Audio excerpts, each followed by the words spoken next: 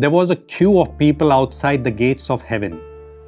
Each person was asked the question Why do you think you should be admitted into heaven?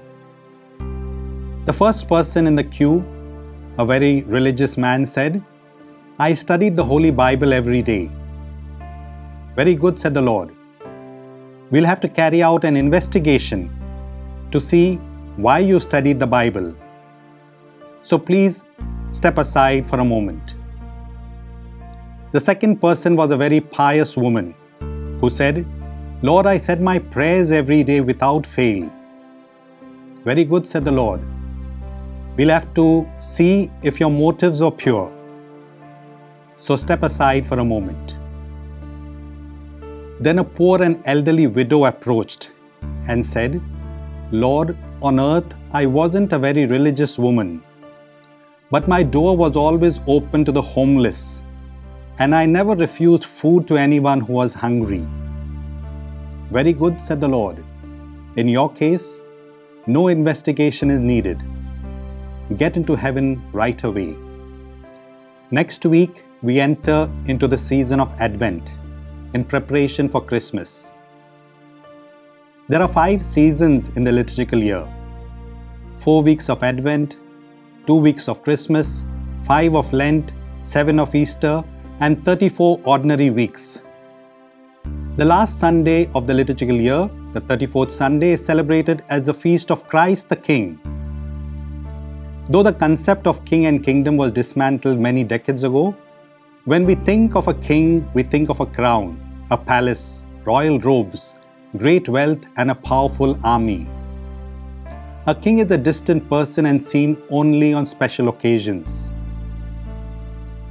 Picture the scene in today's Gospel. Alone and unarmed, Jesus stands on trial for his life. The religious leaders wrongly accuse Jesus. Pilate saw that Jesus was innocent of the charges, but the religious leaders began to exert political pressure. The focus shifts from Jesus to Pilate. Pilate now was the one on trial. Would he see that justice was done? He struggled, then compromised, and finally bowed to the pressure. There have been a few cases across the world when the men in the judiciary are put on trial. The nanny case of the 19 year old English foreign student and babysitter, Louise Woodward, whom a jury in Massachusetts convicted of killing an eight month old baby in 1997, was headline news for several months. There was conflicting medical evidence. Many people thought that it was a miscarriage of justice a defense team appealed against the verdict. The case was given for review to an upright and independent minded judge, Hiller Zobel. Hiller Zobel was a man not swayed by popular opinion, or one who would bow to pressure. At the start of the case, Louise Woodward was on trial. Now it was the judge, Hiller Zobel, who was on trial. The verdict he reached would show if the claims about his integrity were true. After careful deliberation, Zobel changed the jury's verdict.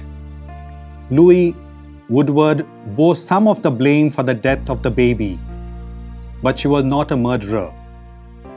Hiller Zobel set Louise Woodward free.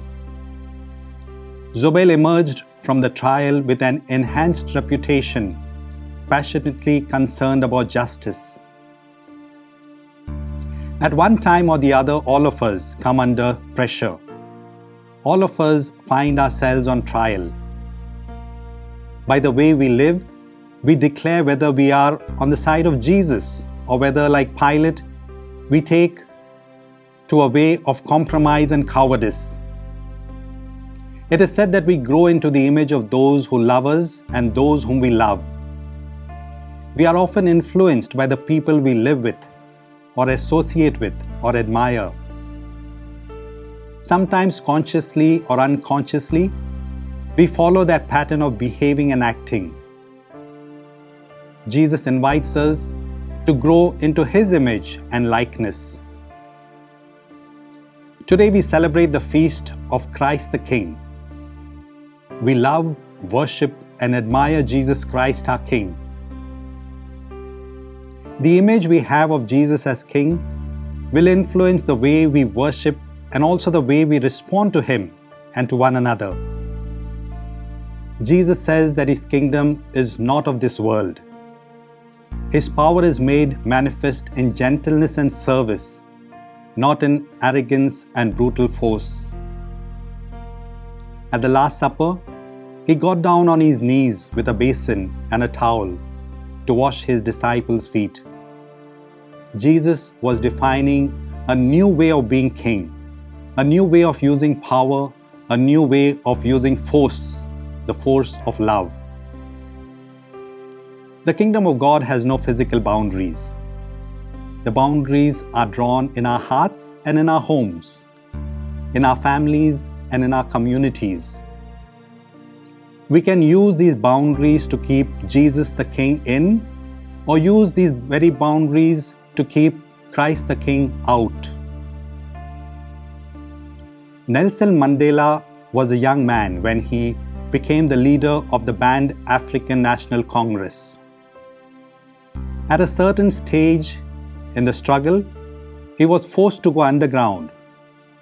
During that time, he used many different disguises in general, he remained as untidy and unkempt as possible. He knew that by being so disguised, he ran the risk of not being recognized even by his own, and this often happened. Once he was to attend a meeting in a distant part of Johannesburg.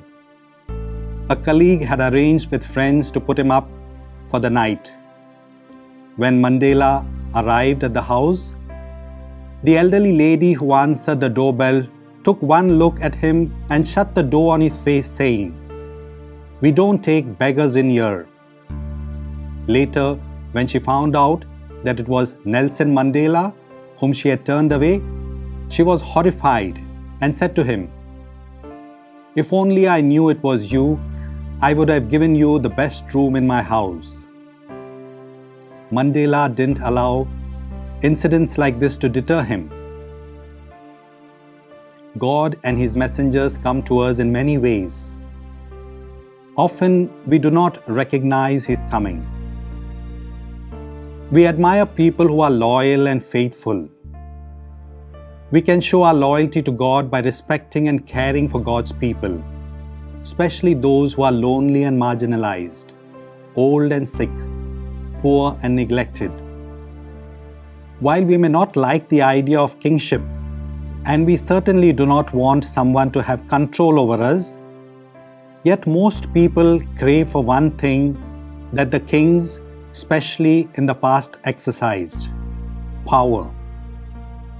Either openly or subtly, we do exercise power and like to have power over others. Today we are reminded that God is the ultimate power, an authority, and God commands our respect and loyalty not because He exercises power over us, because God constantly cares for us. May we discover and serve our King in serving our brothers and sisters. Amen.